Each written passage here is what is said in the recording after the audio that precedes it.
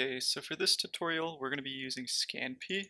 It's pretty much the go-to single cell analysis package if you want to do this in Python. So we just need ScanPy, Pandas, and NumPy. And then later when we do the clustering, you'll need to have these installed as well. So ScanPy is becoming a very popular tool. I see more and more often Nature and Cell papers using ScanPy. It's pretty similar to Seurat, but it's in Python, which in my opinion makes it 10 times better. And it's also faster than Seurat, especially on big data sets. And it integrates better with machine learning because machine learning is more developed in Python than in R. The ScanPy read the docs does have a nice introduction that you can follow along with, but I will explain things that I think are important and I also change a few things. Alright, so I'm going to continue with the data we had processed in my 10x Cell Ranger video. We had produced output files in a folder called tutorial sample because we used the ID flag tutorial sample and I ran this Jupyter notebook inside the same directory that tutorial samples in. ScanPy can read a bunch of different formats, but in this case I'm just reading the matrix files. So if we look actually at this. So we just point to this directory here, and inside it, it has barcodes, features, and matrix. But you could just read the H5 matrix directly. But anyways, let's read in this data. And if we look at it, we see that we have 8,800 cells, and it was a human genome with 36,000 different features. So let's just quickly go through the pre-processing. I don't change too much from the read the docs here. The first thing we do is we want to get rid of cells with fewer than 200 genes, and then we want to get rid of genes that are found in fewer than three cells. So if we look at it now, we see we only have 21,000 genes now. But anyways, okay, so the first thing we want to do is we want to label the genes that are mitochondrial genes. So if we look at adata.var now, here's just the gene IDs and the number of cells in them, but we want to find all the var names. So these are the var names, the index of this and we want to find all of them that start with MT. And in the human data set, they do start with a capital MT, but if you're doing mouse, I think they start with a lowercase mt. But depending on what you're doing, just double check that MT capitalized is actually what your data set uses. So now if we look at this, we see that it added a column of just true and false of whether they're a mitochondrial gene. And then we can check here So if we just look at that, at only the true rows, we see that we do have labeled genes. So if you didn't see anything here, that's when you would worry. Okay, so the next thing, we just want to use this calculate QC metrics. If we look at the A data now, see it just adds a bunch of columns to the observation object. So before I ran this, it would have only been the index with the barcodes. And then we can plot this. And we can see that this data set had a pretty nice distribution. So now we can plot a scatter plot of the total counts by the percent mitochondrial counts and the number of gene counts. Again, it's just a way to make sure your data set looks okay, but it gives you an idea where you filter out outliers. But Instead of just picking based on graphs, what I normally do is use a quantile instead of arbitrarily picking a value. Uh, for example, here I'm just using NumPy quantile of all the genes by count values, setting it to the 98th percent quantile for an upper limit and then a lower limit at 2%. How they have you do it in the tutorial is you just look at the chart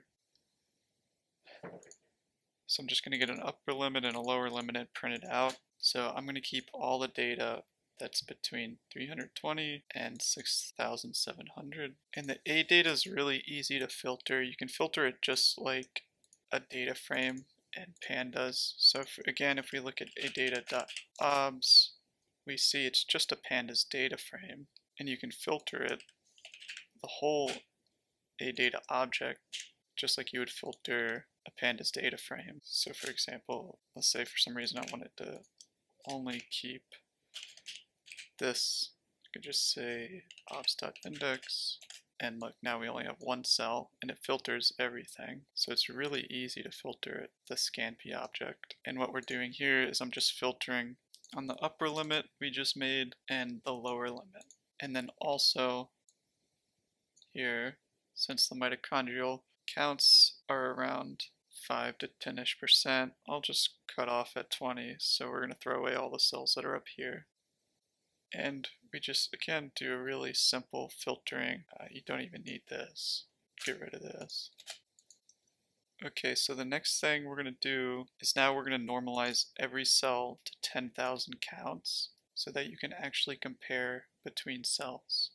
So let me just take this opportunity to show you how to access the raw data or the counts. So you can call .x to look at the counts. It stores it as a sparse matrix, but you can still call individual columns or rows. So let's just call the first row and then all the genes. You see we have a matrix that's only 1 by 21,000. So this is all the values for one individual cell. And if we do a sum here, we see that it's 8,900. And just as another example, let's pick the second cell, and we see that it's 26,000. So all the UMI counts for this cell added up to 26,000. But when we run this, now let's take the same sum, you see that it's now 10,000 instead of 26,000. And if we check 0, it's 10,000 instead of the 8,000 or whatever it was. And then finally, we want to change all the counts from UMI counts to log counts. And that's basically it for the pre-processing. Now for the clustering, if you're familiar with Seurat, it's pretty similar.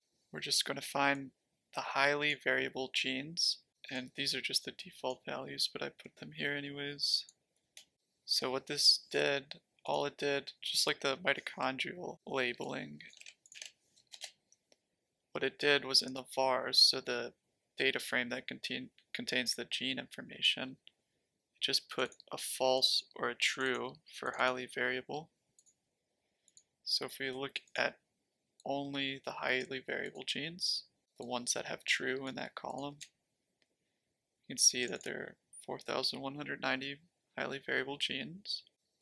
And then now, before we do any more filtering or processing, we're going to save the raw data as the current object. So this just makes a new slot called .raw And the A data and nothing we do further will change the raw data, but you can call it back at any time. And now we're just going to filter out all of the genes that aren't highly variable. So now if we look at the A data, we have 7,900 cells, but only 4,100 genes. But if you look at the raw, you see that it still has all 21,000 genes. And you can convert this back to a regular A data object really easily too. So next we're going to call this function regress out to correct for effects due to total counts per cell and mitochondrial counts. So this might take a little while. Alright, and then we're going to scale each gene to the unit variance. And then let me just show you So now you see we have negative values in the counts table, but if we look at the raw, you see we never go below zero. Okay, so next we're going to calculate the PCAs, just like you would in Seurat. And then let's just plot those. So here it's just showing how the PCs are actually contributing to the variance. So you can use this to kind of decide how many PCs to use in your clustering. The number of PCs I think even Seurat said so in one of their papers, really doesn't make that big of a difference overall. But obviously you want to pick one of the PCs as a cutoff up here. You want to pick when they start flattening out. So you could pick about 20, but again, if you picked 30, the actual difference wouldn't be that much. Um, so actually for this I just picked 20. So we're going to compute the neighbors using 20 PCs. And then finally we can calculate the UMAP. And then we can plot the UMAP. So this data set actually only has one cell type, that's why we don't see distinct clustering. We were curious to see how cells that were positive for Zika virus differed from cells that were negative from Zika virus. We haven't calculated clusters yet, so let's use the Leiden algorithm. You could use Louvain instead if you wanted to. You just call Louvain here, but let's calculate that. And then we're plotting the UMAP again by using the Leiden color. I know this is only one cell type, so I wouldn't expect 10 clusters, so I'm going to change the resolution on this actually. I'm just going to set it to 0.25. Alright, this looks better. And then next, let's just find the marker genes for these different clusters. And for ScanPy, it's just this rank genes group function. And we're just passing the A data, and then we're going to base the groups based on the cluster number, and we're going to use the Wilcoxon method. And then we're just going to plot this, the top 25 genes for each cluster.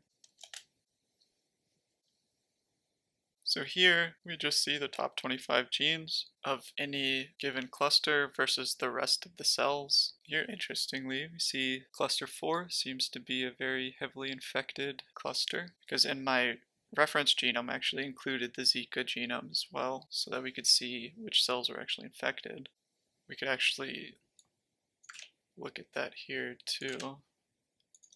If we added Zika. So yeah, we see cluster 4 here, the purple one is enriched for Zika as well. So one more thing I want to point out, because the tutorial doesn't go that much into detail with it, they do show you how to make a data frame from this, but it's not really the data frame you want. So let me just show you this function adds a dictionary under the UNS, if we look at that, we have actually the default name is actually rank genes group. So this is the data or the output from this function call here. So this is the one thing that's unfortunate. They don't have a very simple way to convert this into a data frame, at least that I know of. But what you can do is this is just a dictionary of dictionaries. So if you come here and you say names, and then you can specify which cluster, it gives you all the genes.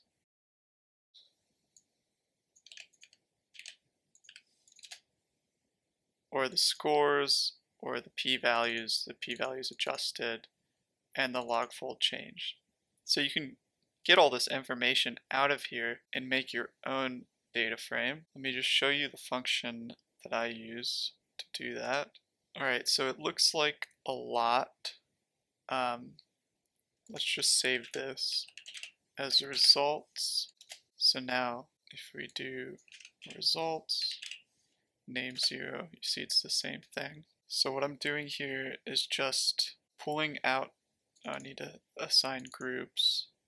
Groups can just be results name dot dtype dot names. If we look at this, it should just be 0 through 4. Yeah, so we're just going to loop over from 0 to 4 and then pull out the names, the scores, the p-values adjusted, and the log fold changes. And then we're also just making another array that's just the group name times the length of the data. So we're just stacking all these one by however many thousand arrays and then we're transposing it so it's a five column array and then we're just appending it over and over to out.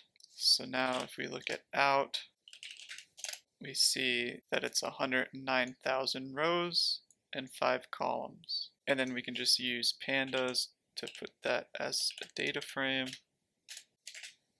And we'll just say out. Of course, we don't care about this row here, so just one to the rest of it. And then we'll call it columns, gene, scores, p-val adjusted, and then log fold change. Well, and which cluster it came from. Alright, so now we have a marker data frame.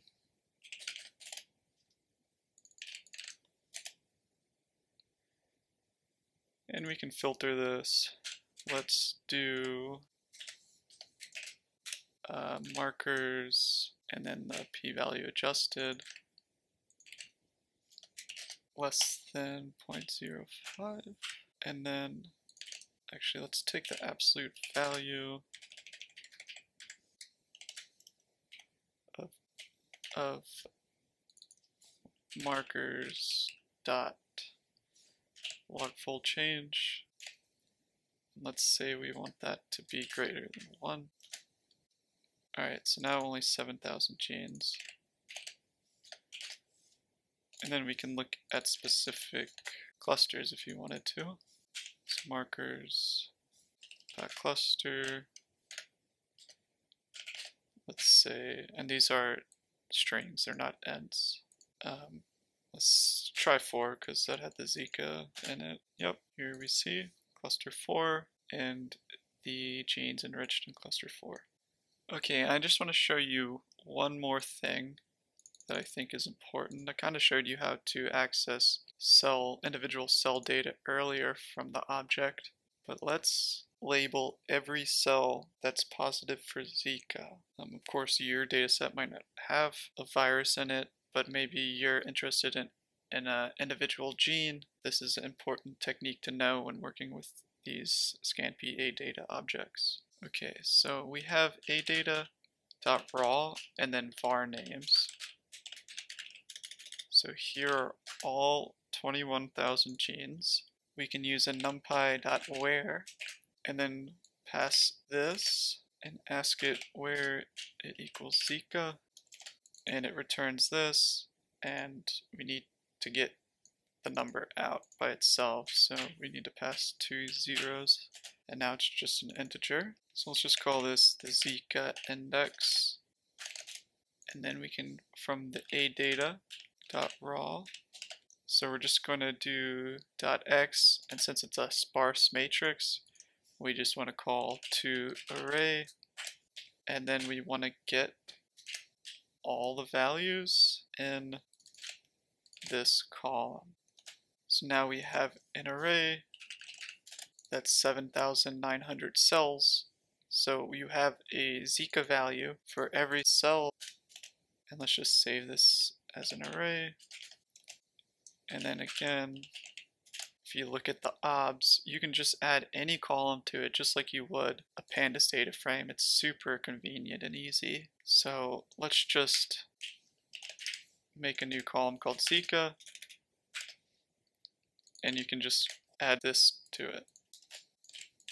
Now if you look at this, we have a column called Zika and it has the values for each individual cell now you could do something simple like filtering by Zika dot Zika. You could say, okay, greater than zero.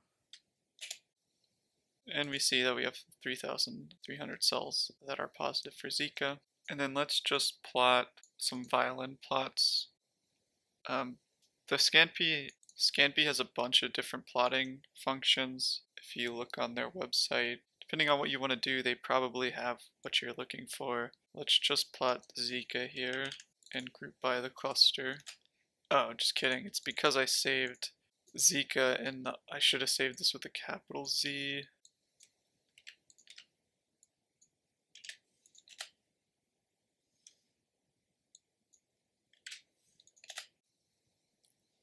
But this works for, like, that's why I was yelling at me because Zika is in the gene list as well. So you don't need this to be in the observation data frame. You can call individual genes like, I don't know, CDK, that's probably capital because it's human.